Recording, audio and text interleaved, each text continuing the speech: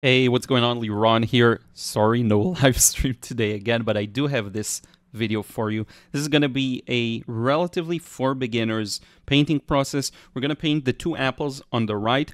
And what I love about these types of subjects is that they're very simple in their essence. It's not a complex composition. It's just one circle, another circle behind that, the shadows they cast. Uh, and so everything is quite straightforward. We're not talking about complex shapes here. It's all very well contained within the areas of the shapes we're working on. And that's what I want us to focus on enjoying the paint moving within the shapes that we painted. Um, so you almost don't have to think too much about a sketch or, sh- or, shapes in general. What you really end up focusing on is just the paint and the water doing their thing. Uh, as for this drawing, yes, it is quite simple. Two um, two round shapes, one for each apple. Notice the cast shadow cutting through use different reference points to find where to place what. You don't you don't have to just guess. You can see that where the apple gets rounded, that's where the shadow of the apple from behind hits it. You'll notice the stem goes into the apple that's behind, right? Uh, there's this rounded shape up top where the stem comes from, and then a rounded shape for the cast shadow of the stem. Uh, a pretty st- straightforward um, structure we have here, but a couple of things to note. Uh, light is coming from the right, a little bit from the front, um, it casts a shadow onto the left, uh, and it casts a shadow inside that base where the stem comes from. And also we have a bit of reflected light, especially down below where some of the white of the surface reflects back on the apple, especially the apple closer to us. So things almost lighten up as we go uh, under. Now I don't remember if I cut all the nuances of that, but we'll get to it in a second. Now, one thing I can give you, this is a really cool uh, tip that helped me with apples. It's just something I figured out. It's not really a tip, but it's something that helped me. Very often you'll look at it and you'll see a green there. Uh, it's very effective sometimes to just put a yellow. It's so bizarre. The apple looks green, but if you put a yellow and a red next to it, the yellow almost will read like a green. It's a little strange. It works for me. Of course, you can put a green there. You can go ahead and mix the color you see and try to uh, get it to look as accurate as you want to. That is perfectly fine. I find that this works really well. Now, one thing you'll note is that my wash is quite wet and I'm not in a hurry, I'm not in a rush to open it up. While I have this contained area, and it's something I, I repeat myself many times, I always say this work with the area that is wet. Um, uh, render it to look perfect so that later on uh, you can worry about the other areas, but but once it dries, you can't do too much. So while it's still wet, it's very effective to focus on it. Um, uh, which is why I'm not in a hurry to open up the area. Now, I will paint these two apples pretty much as one continuous wash. Um, we'll do two layers, so you'll see how the glazing works, because I've come to a lot of um, a lot of new insights as to the glazing and how that kind of a thing works. Um, the reason I'm giving it some time before skipping over to the next apple is I want to make sure I get all the dark red underneath. It's not going to go all in one go. Um, I'll get some nuance of it. But because it's a dark next to a light, I want to really make sure that it's starting to settle before moving on to the apple below as I'm going to do now. Okay, so you'll notice the way I let the two merge together is a bit careful. Um, the brush goes into the red area, so it makes sure it doesn't go back too much into the apple at the front. My sole reason for doing this really is just that I want to have some kind of a difference in value there already now. In in simple terms, I don't want all the dark red to already bleed into the apple in the front. Um, now I'm doing not as good of a job as uh, in painting this the yellow individually here. Um, so it's not gonna read as green, but that's actually fine. The the thing about this subject and why it's great for beginners is it's so organic. You have a lot of freedom in how you use your colors, and and I'm actually trying to prioritize the flow and the and the the beauty of the paint, and really let it do its thing and move out of the way. Uh, and even being aware of it, I still didn't move enough out of the way, and I'll probably do a few more versions of this one and move more out of the way. Now, you'll notice one thing I'm skipping is the highlights. That is very practical. I want to leave them. They're very bright here. The surface of the apple is very shiny. I dropped something on the floor there. Uh, the surface of the apple is very shiny, so I want to preserve that. Um, now, I am lifting back some of those areas that should have been kept lighter and with a, an individual yellow. That's fine. Uh, we will soften out the highlights later on. Now, we need to work fast because the edge of this apple below starts to dry and I need to continue with the shadow. Okay, so something I'm aware of as I'm working on this. If you give yourself enough of a runway by using very wet paint, you'll have enough time to um, charge, paint into it, darken it, lift, all of those good stuff, and you'll still have an edge that is fairly moist. Like the top here, you'll see it starts to blend together a bit awkwardly, but what I found is if you just move the brush over the edge once or twice, it will kind of, uh, the edge will rub rub out and will still look really good. And you'll see this in the in the next wash too. It will look really good. Now the key with the shadow here to me is just increasing the blue that so far we didn't have at all. So now I'm adding more blue and as it moves away you'll notice there is some red there too. I'm not really sure if that's reflected from the third apple but I decided to include this effect because I think it looks really good. Um, so the shadow has some variation of cool and warm. Now everything is dry let's look at how we approach the next wash that is going to end this uh, painting process. So I'm pre-wetting because I want uh, to have some control over a soft edge there. And what I'll, I'll usually do with the second wash, I discovered the power of glazing lately and it's so fun. So the thing is, if you're using the same color and relatively light, you don't go super duper dark. Uh, I'm, I'm close to that border, but I'm not there really. Um, you will get a brighter color.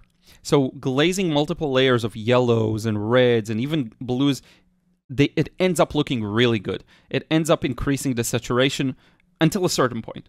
Past a certain point, you may end up dulling the paint, uh, but but especially if you're just careful to go light, you can go even lighter than me significantly, like half of the value I'm using, and it will still be a beautiful process. Um, uh, so yeah, now here I'm maintaining that border. I have no real interest in merging uh, the two apples here. I'll probably keep it separate for the for most of the painting process. Um, now, as we get to the part that's facing towards us, look at how rich and dark it is, right? So I added a bit of Carbazole Violet. As for my colors, very simple, Pyrrole Scarlet, Lemon Yellow, Phthalo Blue, and now you saw a bit of uh, Carbazole Violet. The colors don't matter. I reached two different colors based on the temperature I need. Now, now I need to make sure that the right side is not too dark because there is some reflected light on the apple there where it goes a little lighter. Um, these are all things, by the way, that's much easier to see after you finish the painting process. Now I'm seeing a lot of the things. Oh yeah, this could have been better. This, but but the point is, as long as it has that richness to it, I love it. Um, I think it looks really really good. Uh, I could glaze the yellow with more yellow or a bit of blue, by the way, too. I didn't do that. I could, and that'll push it to be more green. Now, one thing you don't want to forget is that uh, shadow in the middle, right? Uh, there's this nice little dip where the stem comes from, where the stem stems, and uh, that's where it all goes a little darker. Uh, so you want to make sure to get that in, because that's what gonna, what's gonna give it the look of being, you know, an inner part of the apple. Apple inner part. Uh, now I'm, I'm smoothing out a bit of the edge there. Uh, the second glaze or the third glaze sometimes is a good opportunity to soften an edge because you soften the current uh, wash, and it still looks like sometimes it loosens up the previous one too. It's just a good opportunity. Uh, and we'll probably get the stem in here too, and as well as the, the darkness in the center there. Um, those are quite important because they help us tell the full story. Um, this is one of the biggest characteristics of an apple, right? That it has that dip, um, and you want to convey it. Now, the dip stops over on the stem, but I added it a bit more to the left so that it just makes more sense logically to me to show that the dip is all around there. Uh, and then I'm going to also uh, indicate the cast shadow. Now, with cast shadows, the way I think about it is I don't really obsess over what's casting the shadow. I'm more obsessed over the shadow indicating the surface that we're looking at. So the surface goes like this, so the shadow also goes around it like that. Uh, and, and now we're pretty much done with the uh, apple above. I'm just going to clean out this little detail, make it a little softer part of the background.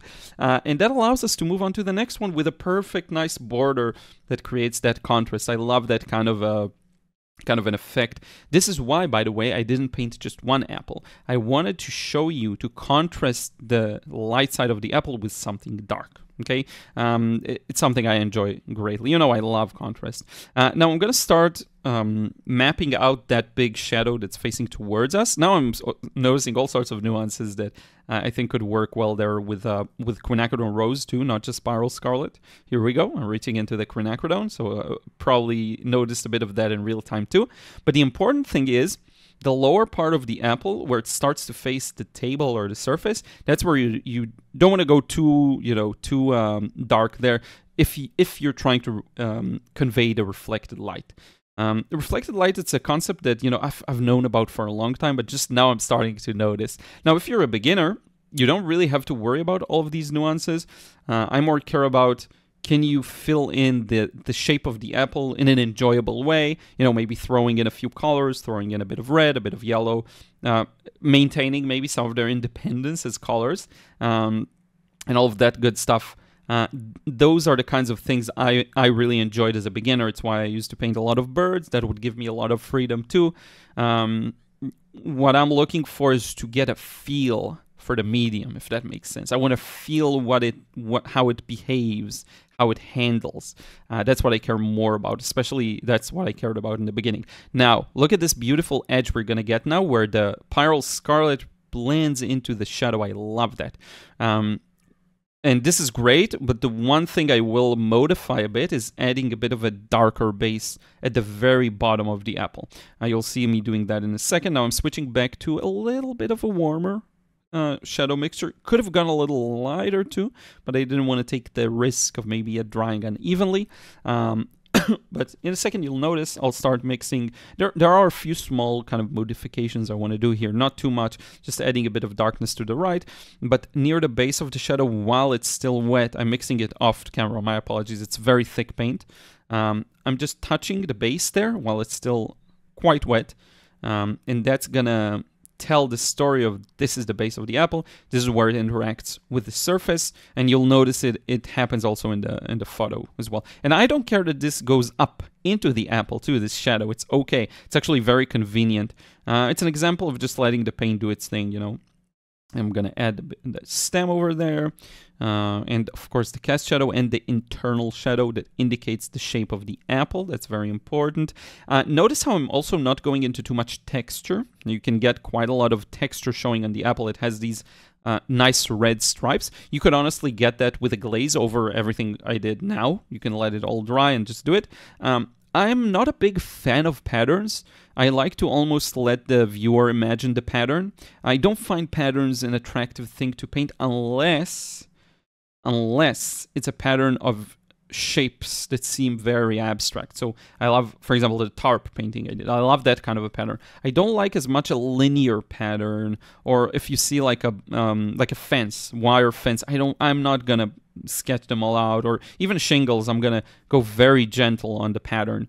Um, and that's what guides me here too. I'm going to try and darken that base a little more while I can, because uh, again, if you want to give us a sense that it, it, runs deep into the apple, uh, that's something that is useful. And you'll also notice that the stem goes darker in the higher parts. It starts green and then it goes a little... Um, brown around the top. So one more thing to note. Uh, now we're going to loosen up a bit of this um, bit of this highlight too that we haven't gotten the chance to. I'm also absorbing back a bit of paint from the apple at the back just to make sure sometimes you will be left with a pool at the bottom that can flow up back into uh, uh, paint that is drier. That can happen. And a bit of a dab, probably with a tissue uh, oh, just a bit more rubbing it and then a dab uh, and that'll uh, solidify it. I just want my dab to be accurate because some parts are still wet.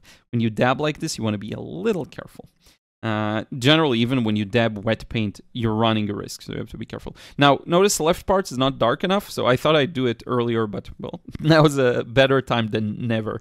Uh, so I'm darkening uh, while being careful as we go down lower, again, to, to keep it quite light. What I think we're seeing on the left is actually the person taking the photo. By the way, I'm going to put a link to the photo as well in, in the credits. It's from the Wet Canvas uh, reference library. Um, so I'm going to add that abstract figure to the left in a second, just uh, figure out, uh, and, and again, bottom, a little lighter, so you have to be a little careful there um, a bit of quinacridone into that mix. Going to put the figure there. It's not going to be dark enough, so I'll add more paint. Um, it's so interesting to recognize what things are Uh, even though you stare at a photo for a long time, sometimes it takes a while to figure out what you're looking at. And there we go. This is our little reflection. Kind of rubbing in a bit of these edges, but I, I like the, the fact that some of them show. Could have gone even darker in the apple here in the front, but I honestly really like the way it looks. I hope you found this one helpful, great for beginners. You know, it's very simple, abstract, direct. Um, and yeah, I really hope you gained something out of it. I do want to thank you so, so much. Thank you especially to everyone who supports me over on Patreon. If you want to receive credits at the end of my videos, this is how you do it. You go over to Patreon. You can just do a buck a month, and that's great. Um, and also, if you want to check out this specific method more in depth. I have tons of other videos. You'll get links to them as soon as this ends. But also the frustration free watercolor course link below. And I will talk to you again real, real soon. Take care.